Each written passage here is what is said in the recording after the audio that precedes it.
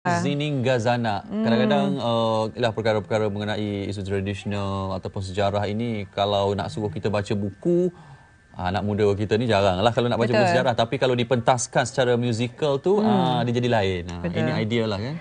Jadi hmm. uh, di satu situasi ataupun setting kampung Tombovo Panampang J hmm. Borneo Native Village. Hmm. Kepada anda yang ingin mengetahui yang lebih lanjut uh, seperti disebutkan oleh Syahrial lah uh-huh. banding kita baca buku saja baik kita lihat sendiri Betul, teater musikal ni. Musical. Okey hmm. baik itu teater Zini Gazana uh, pinggisan yeah. khusus dari Sabah. Dan seterusnya kita dari Sabah kita nak terbang ke Johor. Johor. Okey, hari ini sebenarnya berlangsungnya hmm. uh, Majlis Perasmian Pusat Transformasi Bandar UTC Johor. Uh, sebabnya pada tahun ini uh, PM kita pun dah kata 10 UTC akan diwujudkan lagi. Uh, beberapa telah pun dirasmikan sebelum ni ada dekat Sungai Petani dah, hmm. dekat Labuan dah. Yeah. Hari ini kat Johor. Ah, okay, semua baik. semua state semua dah ada hmm. dan macam-macam aktiviti akan dijalankan juga uh, seiring dengan pusat transformasi eh. Hmm, okay, Lepas tu kita akan ke Johor Rakan kita Anas hmm, Makno yeah. telah pun sedia untuk memberikan laporan kepada kita. Jadi Anas, kongsikan apa yang menarik di UTC Johor. Terima kasih Syarif dan Sofia di Angkasa Puri. Uh, baiklah, uh, saya kini berada berhampiran dengan bangunan Pusat Transformasi Bandar UTC Johor di mana di sini akan berlangsungnya perasmian uh, UTC Johor oleh Yang Amat Berhormat Perdana Menteri Datuk Seri Najib Tun Razak pada kira-kira pukul 5 petang nanti. Dan uh, sebentar sedikit mengenai UTC ini, ia mula beroperasi pada uh, Julai 2014 dan uh, telah pun uh, memberi perkhidmatannya kepada penduduk khususnya di kawasan Johor Bahru ini. Dan uh, untuk bercerita mengenai lebih lanjut uh, mengenai UTC Johor ini bersama dengan saya ialah pengarah Unit Strategi Nasional Kementerian Kewangan Dr. Aminuddin Hashim. Silakan Doktor. Apa khabar?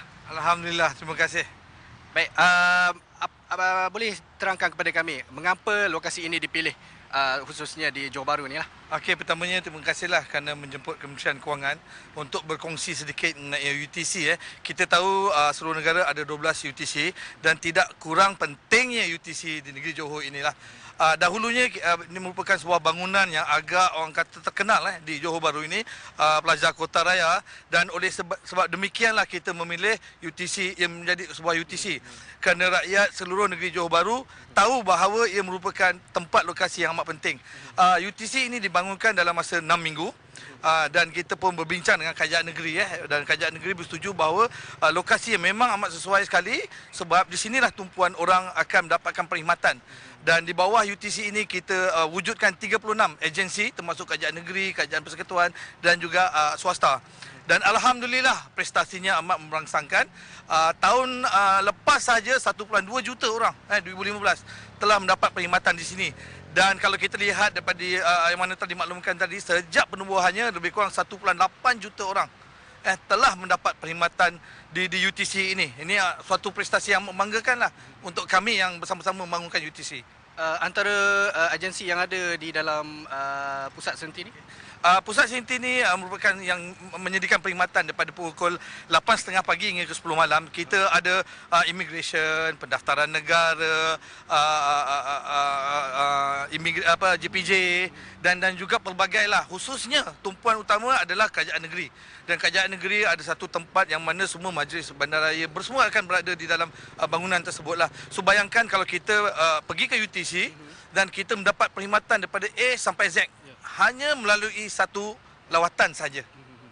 Okey. Okay. terima kasih Dr. Amin atas penjelasan uh, yang uh, terperinci mengenai UTC Johor ini dan uh, saya juga tidak kesorangan bersama saya ialah pengurus kanan UTC Johor uh, Encik Safian Jaafar. Silakan. Uh, apa khabar Encik Safian? Oh, ya, alhamdulillah. Uh, mengenai program perasmian hari ini pula boleh terangkan kepada kami apa yang perjalanan uh, program? Petang okay. nanti. Okey, terima kasih uh, dan selamat pagi dan salam memfakat Johor. Uh, terima kasih kepada pihak ATM. Uh, pada petang ini insyaAllah kita akan adakan majlis perasmian uh, Pusat Transformasi Bandar UTC Johor uh, pada jam 4.40 petang. Uh, yang Mohon Perdana Menteri akan berada di sini untuk majlis perasmian uh, UTC Johor ini. Uh, dengarnya kabarnya sepanjang uh, selain pada hari ini turut berlangsung karnival yang berlangsung berhampiran dengan uh, pusat perasmian ya. Apa pengisiannya? Okey, pengisiannya sebenarnya dengan bersempena dengan Majlis Perasmian UTC Johor ni pada hari ini. Sebenarnya kita ada Carnival UTC Johor eh, sejak pada 4 hari bulan hingga 6 hari bulan pada hari ini.